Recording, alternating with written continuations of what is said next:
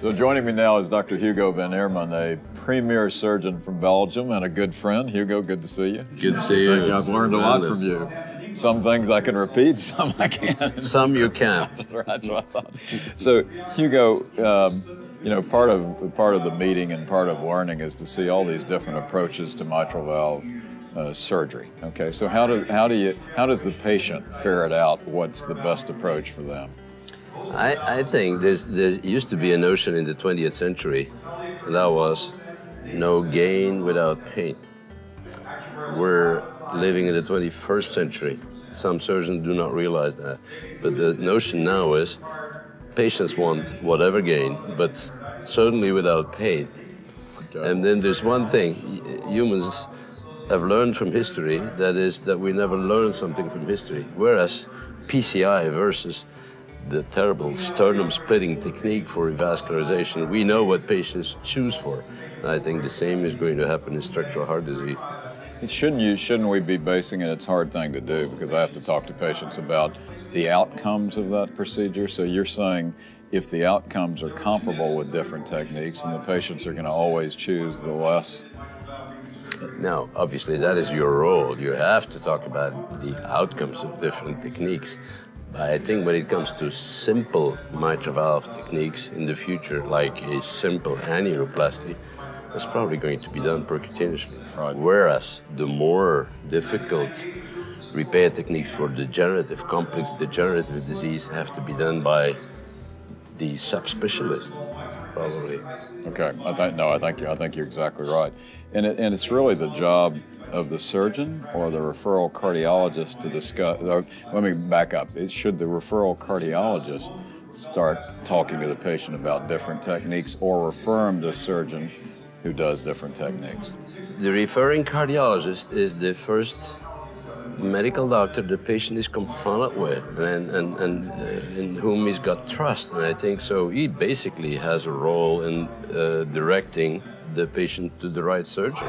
The surgeon comes afterwards, and, and, and then. But if you guys tell you go to this guy, he's a subspecialist. He gets hundred, he does hundreds of them a year. Then uh, he'll come with confidence. Whereas some patients go directly to a surgeon who does 20 a year, and then it's tough to have good result. How do in Europe? How do patients get referred to surgeons? Usually the difference in America is in America you've got this vertical system, one cardiologist, one surgeon. Right, And the surgeon he sees five different pathologists in one week. Right. Whereas in Europe, we much more work in teams where, where the patient is referred to a team. And within the team, we'll decide these two guys are the coronary guys, these two are the aortic guys, these two are the mitral guys. Okay. So, so you've really already developed the subspecialization. To a certain extent, yes. So, and, and is, is that the model we should be following? I, I, I think some centers in America do that already with, with success. I think about Dallas, for example. I think that's the way they work.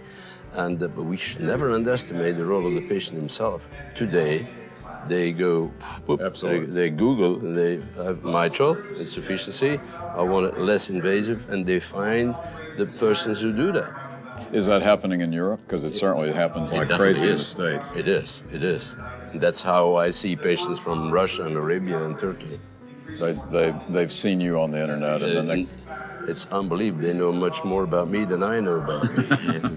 Uh, Maybe they should just spend an evening and find out. so, so it should, you know, it, this is obvious a field that's developed tremendously in your lifetime and certainly in mine. Should every cardiac surgeon learn how to do mitral surgery, or should this be going back to this specialized? There's no doubt in my mind that today a cardiac surgeon has to create his own profile. You are an aortic root repair right, surgeon, right, right. or you are a mitral valve surgeon, or you are a coronary artery surgeon. It is very, very hard to combine everything today and to be crest of the wave and uh, and to be and to and to do top repairs in, in, in, different fields.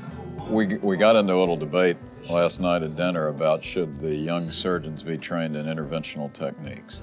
In other words, is there always going to be is is the surgeon of the future going to be doing what you were trained to do? This is a very good question. How tough is it for an interventional cardiologist to become a surgeon? Very tough, I think. How tough is it for a trained mitral valve surgeon to become an interventionalist? Not very tough. You say it all. And I think we have some intimate familiarity with mitral pathology, and, uh, and, and we are in the left atrium every day, and we look around. So if you get into the left atrium with a delivery system, we know where we are where we have to go. Etc. So I think basically it should be a surgeon, and to learn endovascular skills, guide wires, exchange catheters, etc., etc., and then transseptal puncture is not that hard. You can learn it in six, take that in six months. Good, good. You've, you've um, substantiated my beliefs. So let me let me let's switch topics for a second. I want to ask you. You uh, obviously are a tremendous educator and respected by your colleagues around the world. Tell me a little bit about your thoughts about the Mitral Conclave as a learning educational experience. It's fascinating very much exciting. This is this is already the first sign that we're splitting specialties.